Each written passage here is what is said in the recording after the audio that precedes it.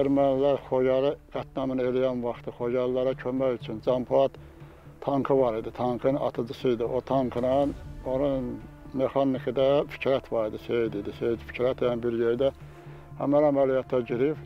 Orada da bütün Ağdamın deməli bütün batalyonu, cəmaət hamısı köməyə gəldi. Nə qədər Ağdamda döyüşənlər vardı, yaba ilə, nə bilim, balta ilə, dəhrə ilə gedənlər də vardı onların üstünə. Yəni silah az idi da, yox idi silah o qədər.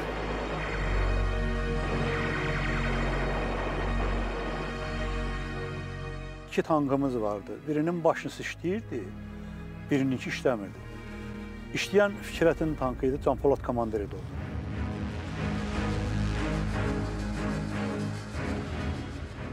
Ayağımdan yaralanmışdım, evdeydim. Gördüm o oğazın səsi gəldi. Çıxdım çölə, dedi ki, bəs Yaquf dalıca yollayıb ki, bizi sən aparaq. Bəs axşam Uzun Elfər Xocalıya. Tank qalıb orada, Can Polad da tankın o birisi biri ilə gedib, biri qalıbdı.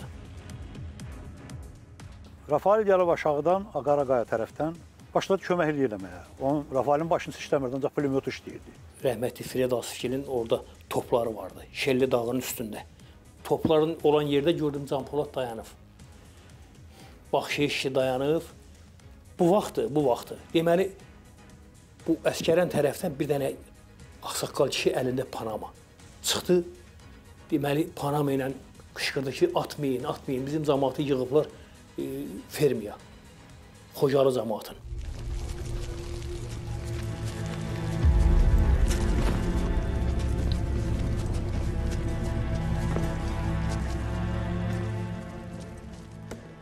Şerli dağının üstündən biraz Qaraqayaya sarı sol tərəfdə onların ermənilərin bir ferması vardı.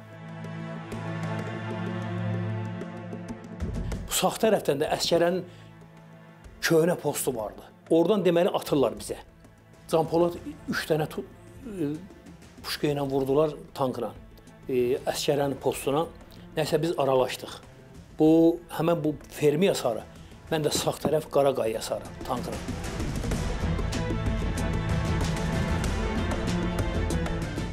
Erməni ilə Canpolat tankla, Canpolat tankda erməni BMP-də üzbəüz çıxmışdı. Qaraqaya ilə çatmışdım, gördüm ki, Şilənən Seydə deyir ki, sür üstündən keç. Sür üstündən keç. Tankısa gedir, irəli geç. Erməninin BMP-sini ayaqla, yəni milləti qırır. O momenti onu vurdular. Düz Qaraqaya çatanda gördüm Seyid dedi ki, Rafael, bəs Can Polatı vurdular.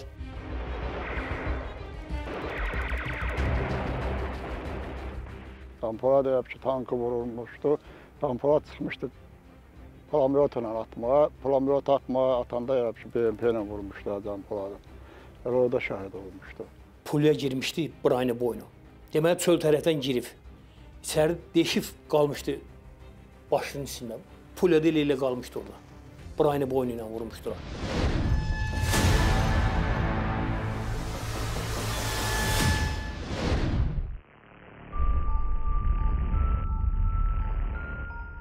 Onu əmisi qoymuşdu adı. Biz Can Polad deyirdik, elə bil papası Can Polad deyirdi. Elə ondan sonra da hamı Can Polad dedi, elə də getdi.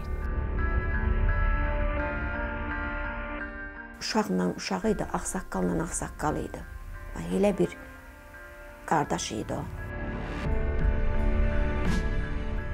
Sakit bir uşaq olub. Məktəbdə oxuyub, 4-cü sinifi ora qədər idi. Sonra Əhmədavar məktəbinə gedib, orada oxudu 8-ə qədər.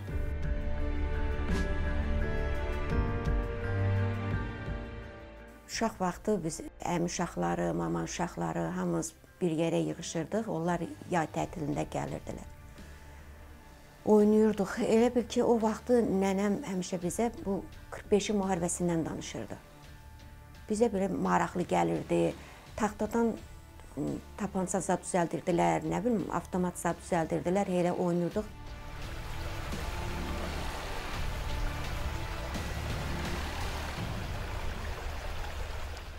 Onların daş şexi vardı, onlar daş düzəldirdilər. O balaca vaxtından atasının yanında işləyirdi. O uşaq elə bir uşaq idi ki, belə qorxmaz, igid, mərd.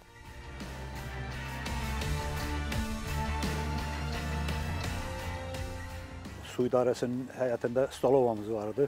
Adı Qaqarin bulaq adlanırdı. Onlar orada iş yerləri var idi qəbirstanlıqda. İş yerindən çıxanda gün ortalar gəlib biz də çörək yeyirdilər. Mən onda bufetdə işləyirdim. Mən o, o milli qəhrəmanı elə uşaq vaxtından qəhrəman bilirdim. Çünki davranışından, oturuşundan, duruşundan.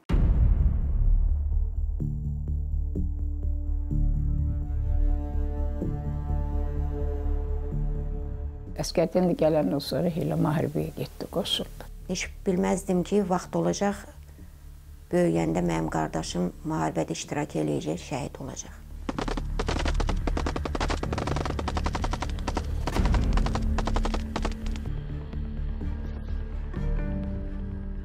Daha o müharibə başlayan gündən o döyüşlərdə iştirak elədi. Elədi qəhrəmancasını elədi. Yəni o insanda qorxu söhbəti yox idi. Necə lazım idi canla başla, həmişə qabaqda gedən Can Polad idi.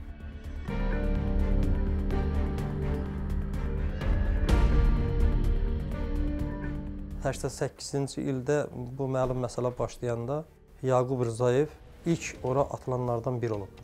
O vaxtdan başlayıb Yaqub Rzayev saqqal saxlamağa. Və e, Qaracı qəbirstanlığı deyilən o 19-cu post deyilir. E, orada öz qərargahını e, yavaş-yavaş 91-ci ildən başladı yaratmağa. 90-cı ilin yanvar ayının ikisində Milisə Yardım Fəhlə dəstəsi yarandı. Çünki heç bir ordu yox idi.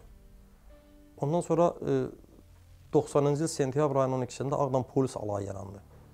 Biz o Şelli körpüsünün üstündə dayanmışıq gecə. Gördüm bir dənə Qaz 24 gəldi. Abi Qaz 24 gəldi, dayandı. Gördüm e, Yaqub kişidir.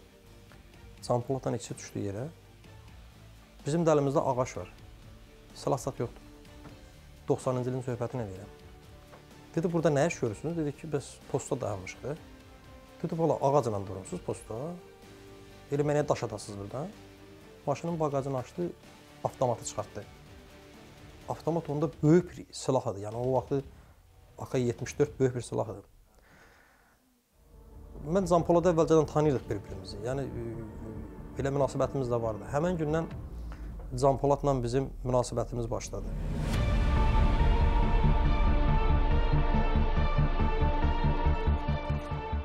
Müharibə başlayanda erməni quldurları bizim cəmaata işgəncələr verirdilər. Atırdılar hər gün. Yaqub Rzayev özü erməni hücum edən Ağdama birinci əlinə silah alan e, ağsaqqalların biri olub.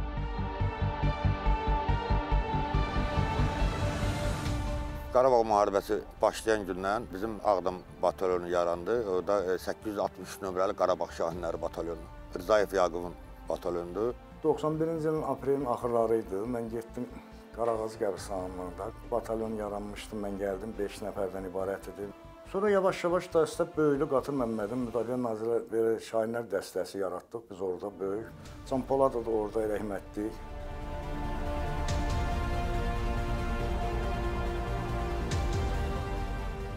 Atamla o çin-çinə vuruşdu. Mənim atamın da əməyi az olmayıb buna. Azərbaycan da bilir, Ağdamlar da çox gözəl bilir.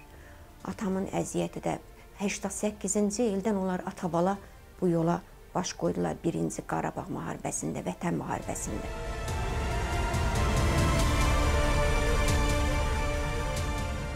Azərbaycanın bütün bölgələrindən könüllülər gəldilər. Ha, bizim döyüş yolumuz belə başladı orada. Batalyonun bazı hissəsi yox idi. Ən böyük batalyonda belə deyək, Qatır Məmmədə idi, onda məsələn 60 dənə silah var idi. Anlaferdə Bağırovda məsələn 70 dənə var idi. Yəni bizim batalyonda 36 dənə idi. 91-ci ilin e, noyabr ayında, yoxsa oktyabr ayında e, Ağdamda batalyonlar rəsmiyyətləşdirdi. İlk dəfə Şirin Mirzəyev batalyon oldu. Sonra Qatır Məmməd, sonra Firəd Asimidir. Bizdə Xudu Xuduyev vardı, o rota yaratdı ilk dəfə. Biz onun tərkibində rota oldu.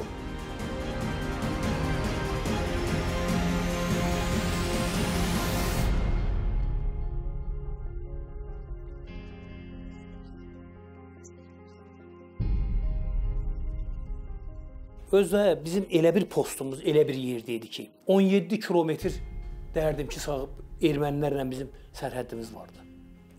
O zonada düz Pramoy Qaraca qəbirstanlığını qutardı, 19-cu post verdilər. Bizim postlar yerləşirdi. 18-19 sol tərəfimizdə Şelli postu idi. Rəhmətli Fred Asifgil özünün müdafiə batalyonunun uşaqları Eldar Gil dururdu sol tərəfimizdə. Sağ tərəfimizdə bizim özümüzün toplarımız idi, minametlarımız idi.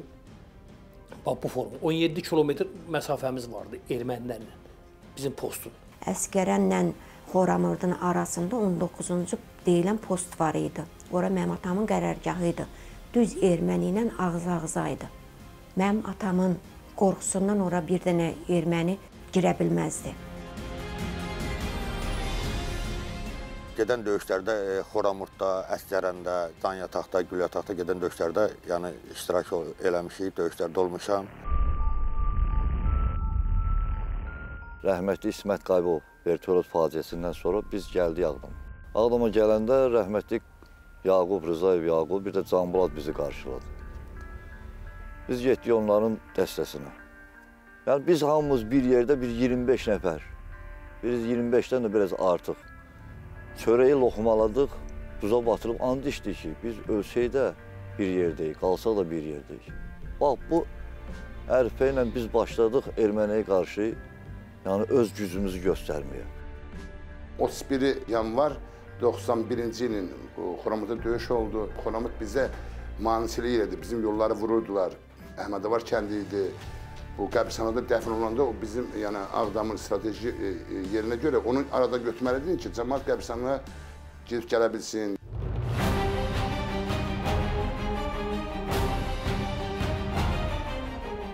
Həmin o Xaramuz kəndindən bizə təzyiq tez-tez olduğuna görə o həm yüksəklikdə yerləşirdi o kənd, dağın döşündə. Oranın bu yüksəkliyindən çox mərmilər bizə tərəf gəlirdi.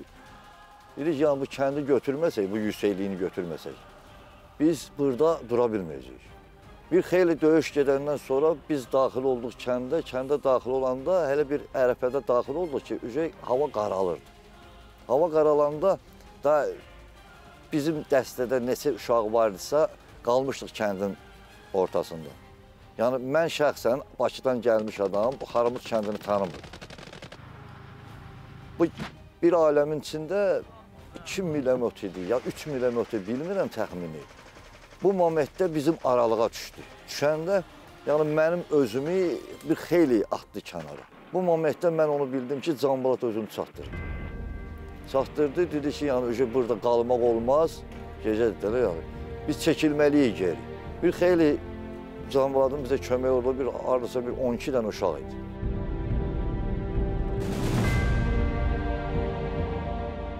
Sonra biz 31-dən sonra qayıtdıq. Bir də təzədən ermənini təmizlədik Xramutdan. Fevralın 3-də. Tamamilə kənddə bir neçə gün atışdıq, kənddən tam çıxartdıq. Sonra Fərrux yüksəkliyini götdü.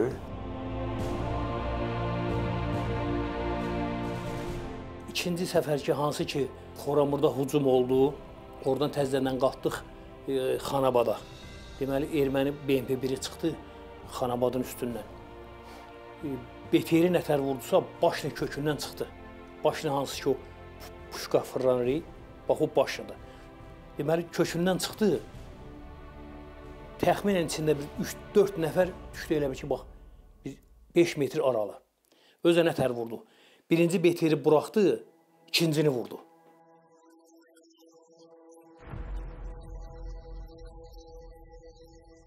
Canpolat özünü atırdı həmişə qabağa. Yəni bizdə Ağdamda böyük bu heç yerdə bəlkə də görməmişəm, bilmədiyim işlər var ki, komandir batalyonlar demirdi ki, irəli, deyirdi ki, arxamca gəlin.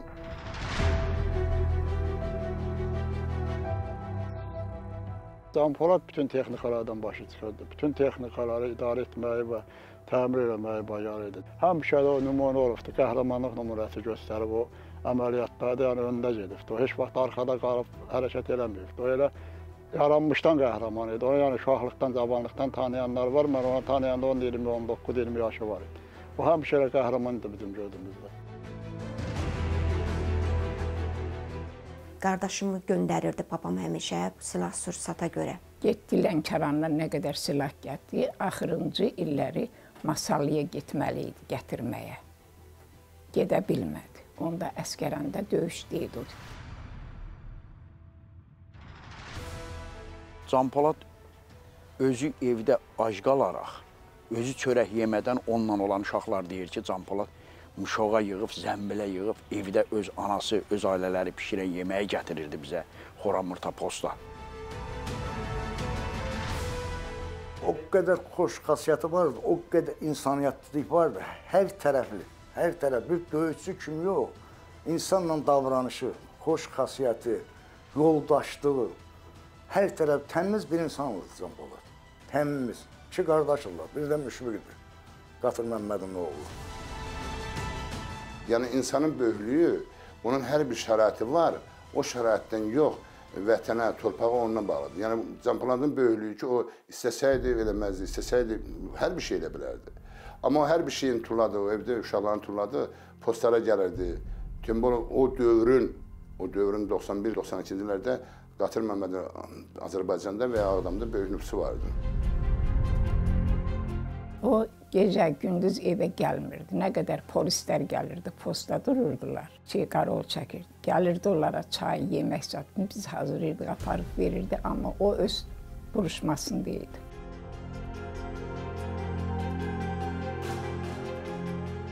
Bir dəfə o gəldi evə, axırıncı gəlişi, axırıncı gəlişi qardaşımın. Əllər bura qədər mazıt idi. Dedim, əlləri niyə bu gün nədir? Dedi ki, qardaşın elə belə qardaş deyil, mən həm tank komandirəm, həm də silah sursat yığıram. Qırılanları özüm düzəldirəm. Çörək yedi, getdi. Atatürk dalınca ağladı. Sarmaşdı, elə bil bilirdi ki, axırıncı gedişidir.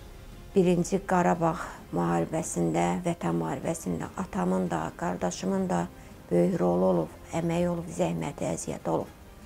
Mənim atam xalq qəhrəmanıdır. Xalqın gözündə xalq qəhrəmanıdır.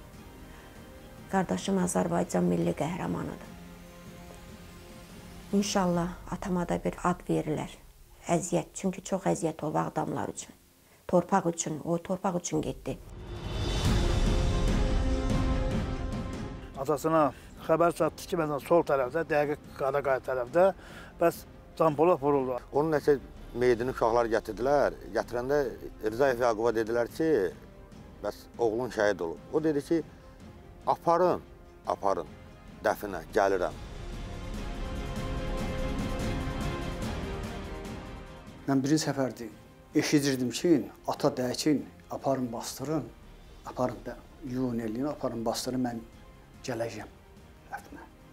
Birinci səfərdir mən eşidirdim. Ağıb orada bir kəlmə demiş ki, burada şəhid olan hər bir uşaq mənim oğlumdur.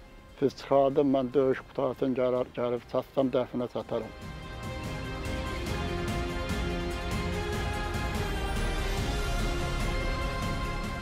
Qərargahı yaradanda rəhmətlik Yaqub kişi dedi ki, Ağdam cəmaatı bircə şeyi bilsin ki, erməni Ağdama bir halda gələ bilər. Ancaq gələk mənim meyidimin üstündən keçsin. Həqiqətən də heyl oldu. Yaqub apardıq, dəfn elədik. Yaqubun yedisi çıxmamış Yaqub dediyi kimi ermənilər gəldi, Yaqubun meyidinin üstündən keçdi, Ağdama gəldi.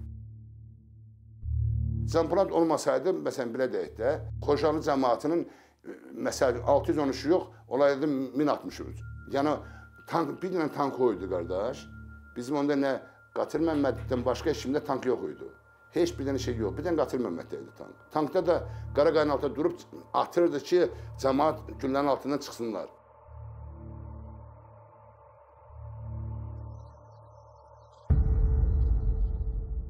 Mənim üçün maraqlı gələn bir şeydir ki, elə bir ki, bu milli qəhrəman insanları bir ananın evladıdır. Fikir versiniz, onların keçmiş tarixlərinə baxanda elə bilirsən ki, bir anadan tərbiyə alıblar. Ondan da iki oğlu oldu. Biri Atatürk, onun da adını Süleyman Dəmirəli qoydu. Kişi zəh vurdu ona, Atatürk olanda. Dedi ki, mən onun adının oğul olsa Atatürk qoyacağam, qız olsa Həcər qoyacağam. O da Atatürk olanadan dedi ki, hə icazə verirsən. Dedi bizdə qanun yoxdur Atatürk qoymağa. Mən icazə verirəm qoy. Babası qoydu Atatürk. Amma bu ana bətində idi, bu görməmişdi heç. Bu olanda at babası öz adını qoydu gədən. Dedim şükür Allaha ki yerində var. Həmin ərəfədə mən iyul ayında anadan olmuşam. Atam 1992-ci ilin fevralın 26-sında şəhid olub. Yəni mən nə ata üzü, nə baba üzü görməmişəm həmin ərəfələrdə. Yəni indiyənə qədər ancaq şəkillərində, videolarında, yəni sağ olsunlar müharibə yoldaşlarında yəni əlaqəm var, münasibətim var, görüşürük. Yəni belə danışdıqca beynimdə canlandırıram. Onun övladının birinin üzünü gördü, birinin üzünü görmədi. Şükür indi onun biri polisdir, biri daxili qoşunlardadır. Başımız həmişə ucadır.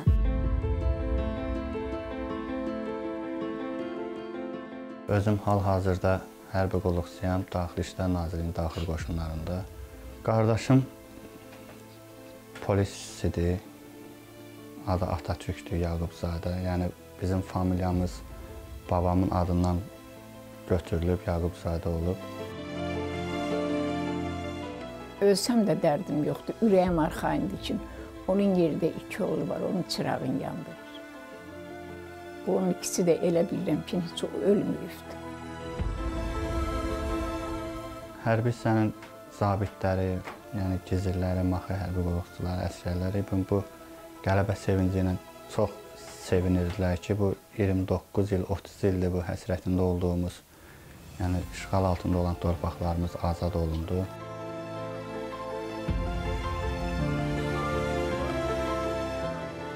Bütün şəhidlərin qarşısında, şəhid analarının, şəhid bacılarının, ailələrinin qarşısında baş əyirəm. Bir şəhid bacısı kimi, şəhid qızı kimi.